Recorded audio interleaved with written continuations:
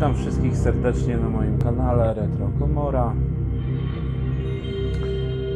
Dzisiaj postanowiłem jeszcze zrobić jeden gameplay z PS1 z gry Need for Speed Hot Pursuit trójka.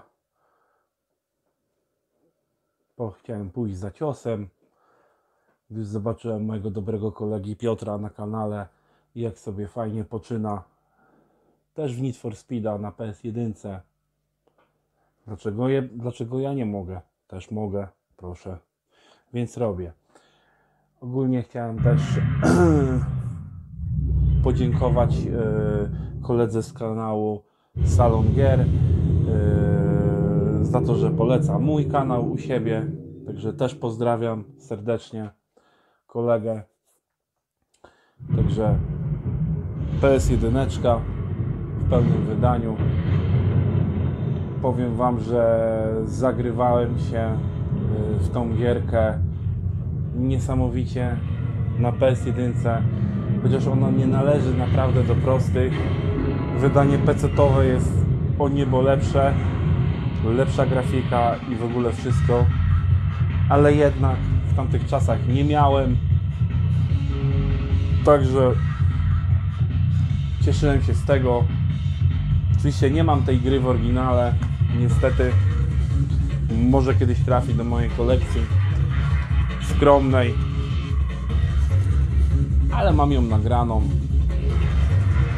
spiraconą. Także zaczynamy. Także jeszcze raz wielkie dzięki kolego z kanału Salon Gier za to, że y, polecasz mój kanał u siebie, że chcesz przyciągnąć jakichś widzów też do mnie. Dziękuję Ci bardzo. Ale dobra. Zaczynamy. Zawsze y, uwielbiałem tutaj muzykę w tej grze. Po prostu muzyka zwalała mnie y, z nóg. Moje uszy po prostu pieściły te dźwięki. Także posłuchajcie sobie sami. Dam sobie głośniej.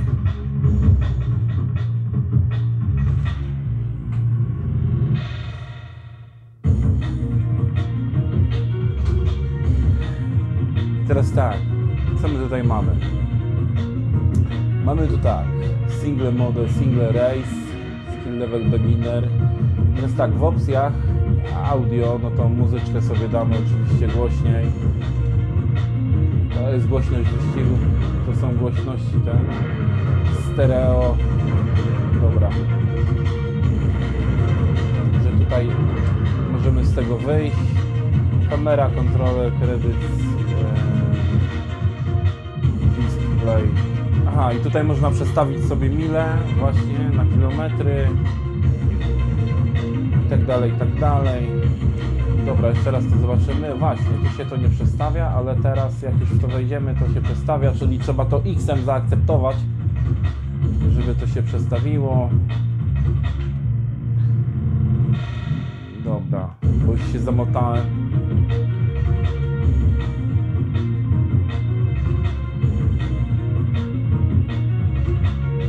Hot Pursuit Tournament. Damy sobie wyścig.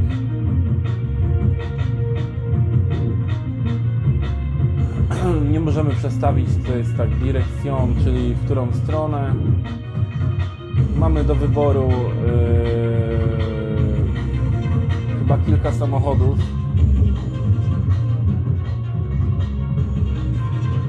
Jest to korwetta. Kolor możemy jej zmienić. Biały, ale ja korwetami nie jeździłem.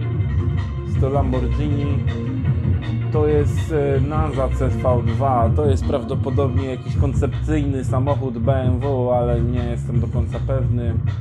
Ferrari, Ferrari Muranello 550, Lamborghini Diablo, ale jest nieosiągalne. To jest Jaguarek. Tym Mercedesem się jeździ, niesamowicie się trzyma drogi, niesamowicie przyspiesza. Jedyne co nam zostaje no to Ferrari F1 355 w automacie, ABS-y, ABS-y czy włączamy, włączamy, kolorek wybierzemy. Najbardziej to mi w sumie pasuje taki siwy. Nie wiem dlaczego. Dobra. Ale nie myślę, że ten wyścig wygram. Nie, tak nie będzie. To nie ten Need for Speed. To naprawdę, żeby się wczuć y, w mechanikę tej gry, potrzeba... No ale zresztą zobaczycie sami. Jaki mistrz zasiada za kierownicą.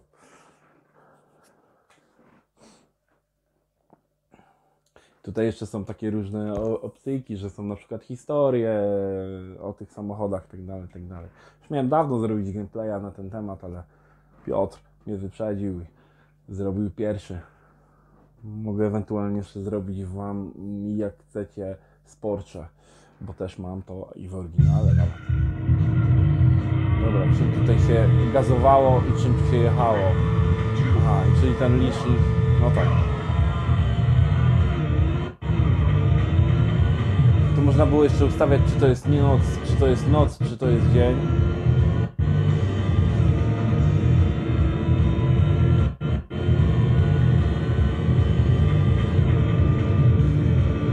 Wam, że nawet nieźle się jedzie w takiej kamerze.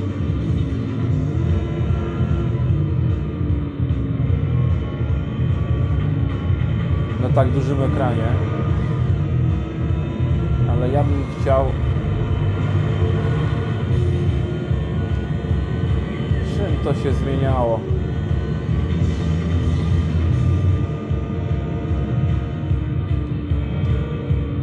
Kwadratem. Znaczy, przepraszam, trójkątem. O, tak będzie dobrze. No i oczywiście zasuwamy strzałeczkami, tak?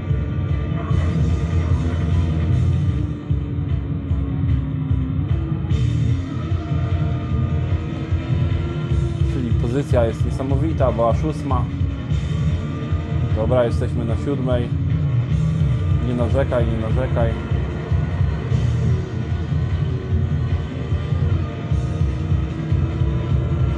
Że reszta zawodników naprawdę poszła.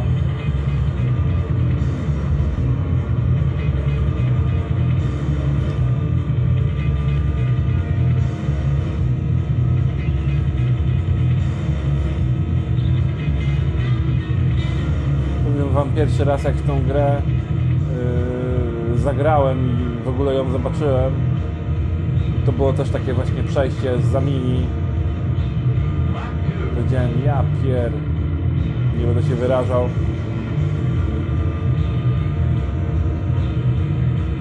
Gdzie Amiga?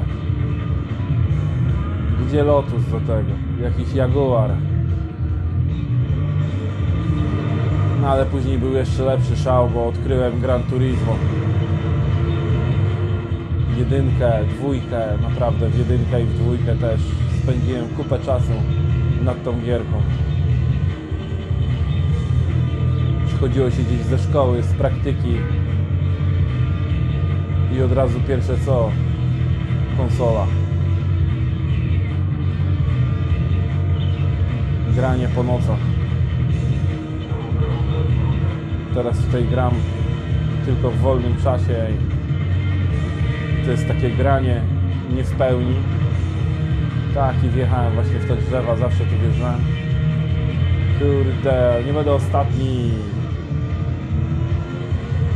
Także widziałem Piotrek twój gameplay, jakbyś to oglądał z Need for Speeda, no i naprawdę dobrze ci szło. Oprócz tego, że była to wersja niemiecka, ale dobra, to nie o to chodzi.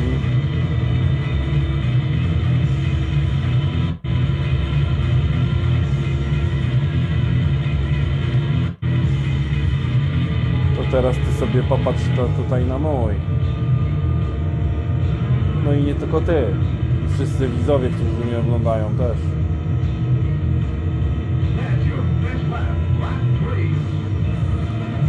Naprawdę PS1 jest PlayStation.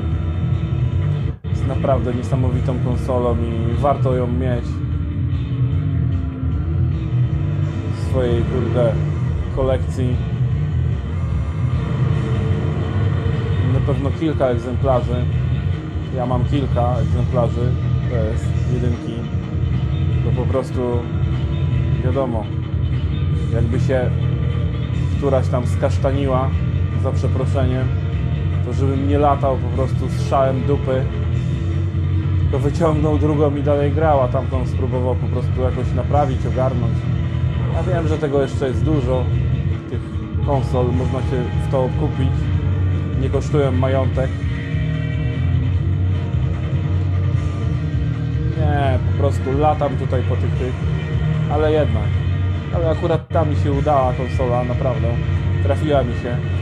Kupiłem ją kiedyś e, koło Marsylii na targu we Francji.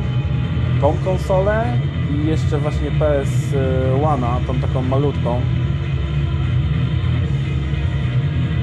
Ale tamta jest w oryginale, tamta nie jest przerobiona, nie czyta gierek e, pirackich, tylko czyta same oryginały. No I ona sobie tak leży, właśnie nieużywana. Super, jestem pod wrażeniem, to jest moje najlepsze okrążenie. Ale świetnie się w to gra. Trochę się dźwięk sra. Świetnie się gra, ale dźwięk się sra, nawet się zrymowało.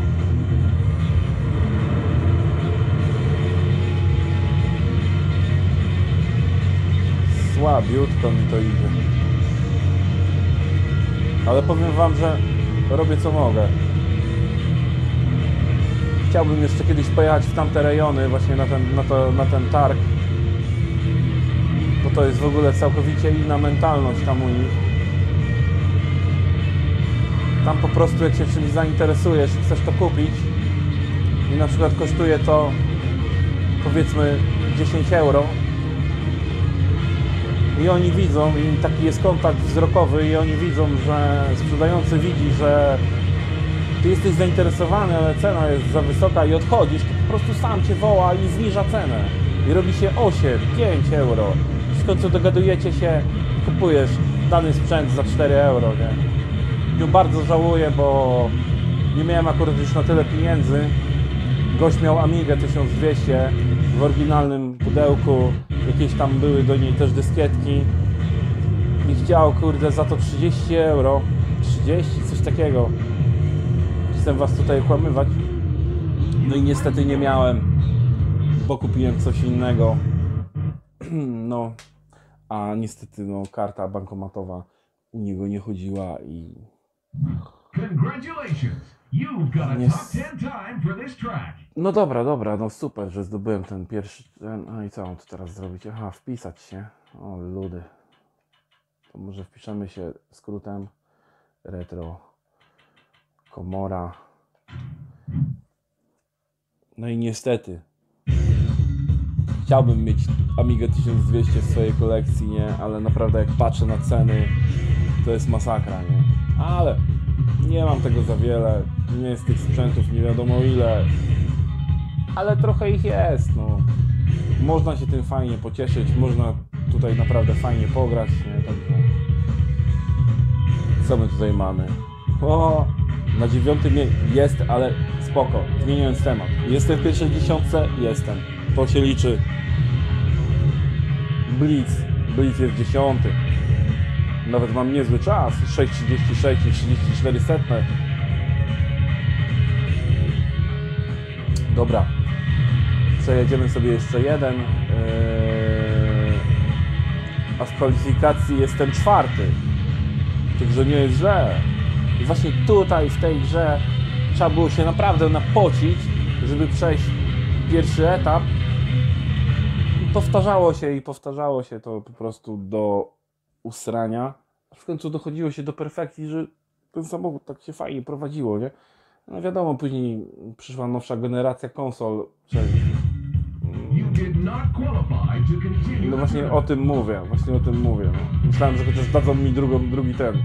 Wyeliminowali mnie.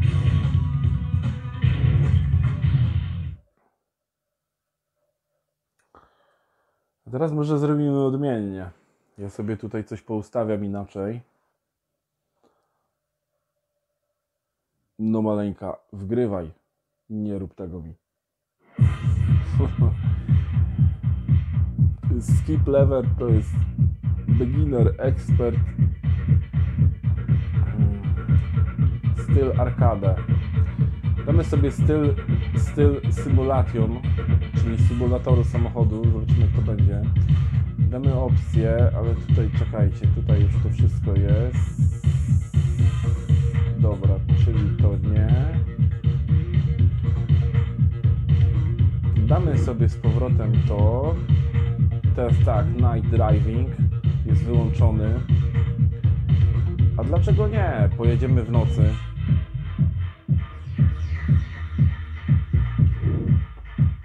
Wybierzemy sobie ten sam samochodzik. Tylko może zmienimy kolor. Na czerwony, może to przyniesie nam szczęście. Tak, bo tu już nic więcej nie można ustawiać. Chociaż w sumie co to jest? Bo już nie pamiętam. Aha, to jest takie, to jest takie porównanie. Mm, Dobra, czyli to, to jest mało ważne.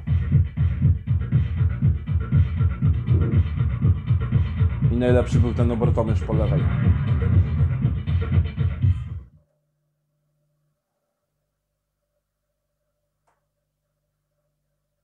Dawaj, dawaj, bo czasu mało. A widownia czeka. No i ja, oczywiście.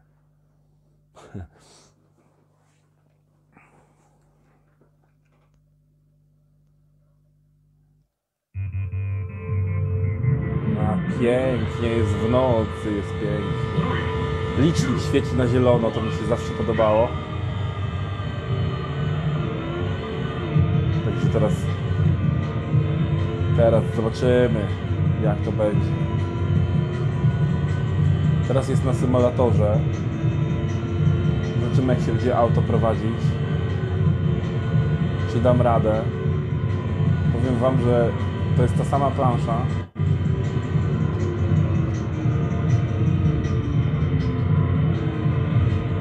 Powiem wam szczerze, że muszę chyba sobie przysiąść do tej gierki tak na poważnie, tak jak kiedyś. Osiągnąć tutaj jakieś osiągi poprze, poprzechodzić tutaj różne te, bo później te samochody też można e, sobie tuningować, kupywać sobie tutaj jakieś różne znaczy nie widać tego, tak jak na przykład w Need for Speed Underground, czy dwójce, czy Carbonie, czy jakiejś z tych innej rodziny, jak ja to mówię, innej, innej rodziny, oj, oj, oj, innej rodziny Need for Speedów. Nie dość, że taki sam kolor, to jeszcze mi zajeżdża drogę. Strasznie nosi, strasznie nosi.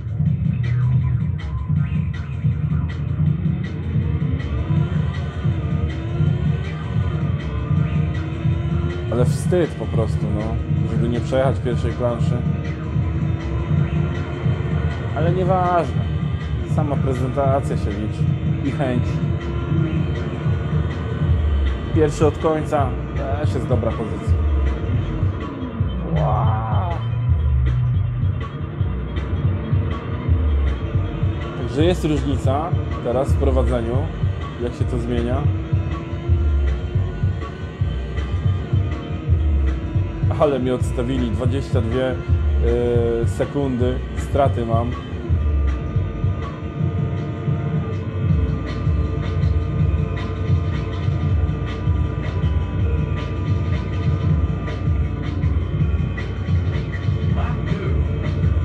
Spoko. Pewnie zrobię czas najlepszy na okrążeniu. Dobra, skupię się trochę, to może chociaż dogonię tego, tego siódmego. Nie, to jest po prostu masakra. Aż się maszyna zadymiła.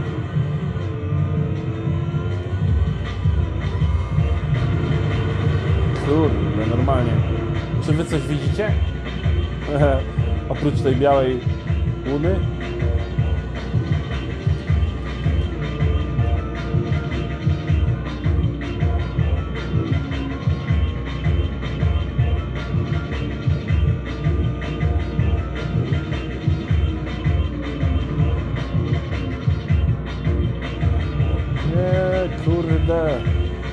Się.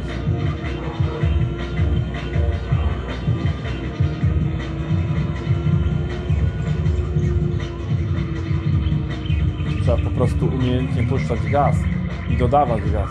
Ale się opony ładnie zapaliły.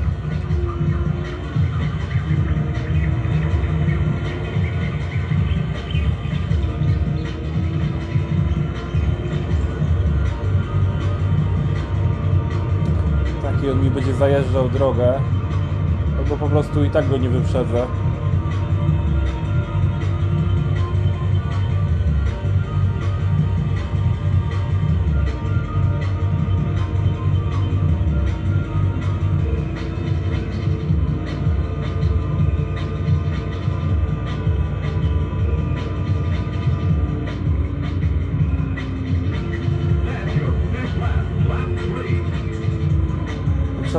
Troszeczkę puszczać gaz, ale też trzeba i kierować. Fuck. Że tak się wyrażę.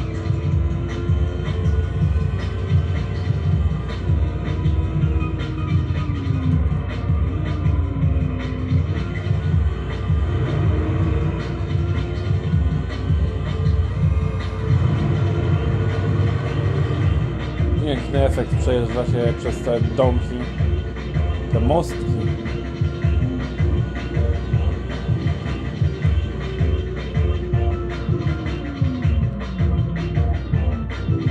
No i Leszek, zaliczyłeś drzewko.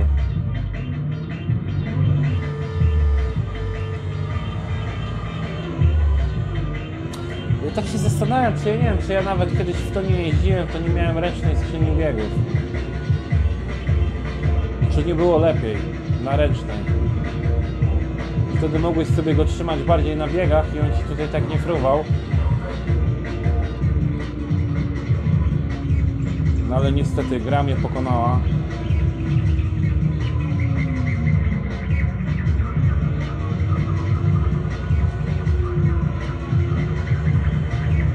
Ale będziemy honorowi i dojedziemy do końca.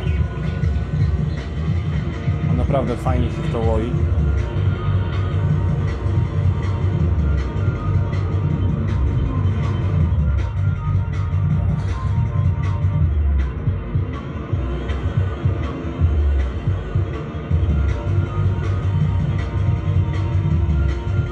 Taką Ferrarą to by sobie człowiek polatał na żywo. Marzenie świętej głowy.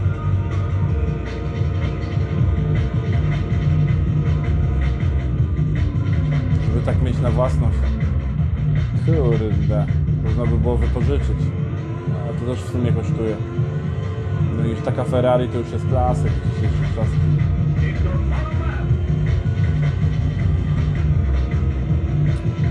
Dobra, ty jedź, ty nie myśl o Ferrari, bo i tak nigdy takim nie pojeździsz, tylko w grze.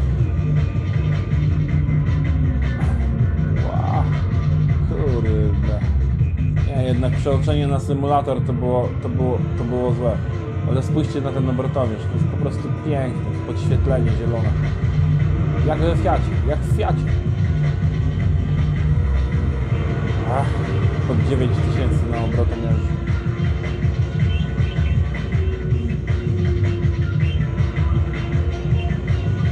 Może lepiej trzeba było wziąć Lamborghini.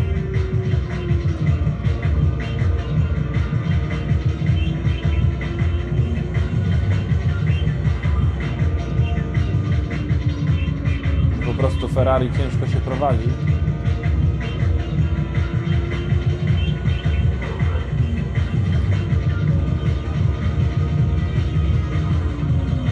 Tylko gdzieś nie przypie... Rydol. Co, co? Co mówiłeś?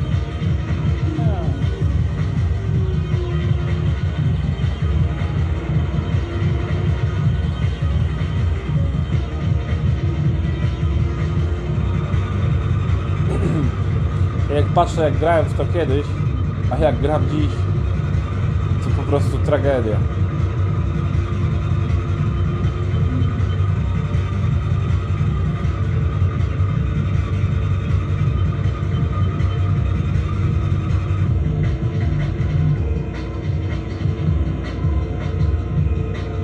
Chłopaki już na mecie fajeczkę palą, autka stoją, a tu jedzie.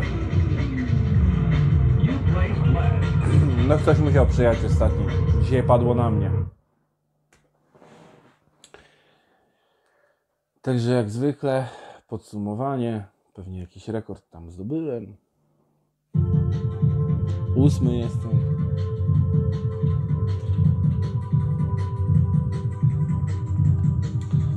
Także co, no będziemy kończyć, bo czas już się pomału kończy.